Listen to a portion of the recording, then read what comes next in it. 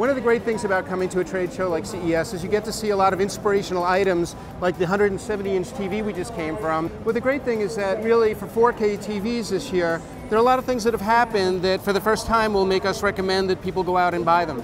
Right, so we have not recommended people buy 4K TVs before, partly because there hasn't been that much content, and that comes partly back to the standards, right? Right. So what we've seen is beyond resolution, new things like high dynamic range, HDR. We're hearing a lot about it is the difference between the, a TV's ability to present the very darkest and very brightest images. So it's the range that the TV is capable of. The problem is, is that no one's really standardized around how that kind of content is one going to be created, and two, how it's going to be displayed on TVs. Right. Until this year, because now we have HDR standards, and that's going to really open up manufacturing and also content creation. What do the HDR standards mean exactly, and how are we going to see that come out for, for consumers? Well, what's going to happen is really sort of um, you know twofold. One is that for premium sets, there was uh, an organization called the UHD uh, Alliance came together and they set minimum specifications for premium TVs. So if you buy one of these TVs, you know that it's going to be a top performing model. Mm -hmm. One okay. of the problems though is that there are going to be other kinds of HDR capable TVs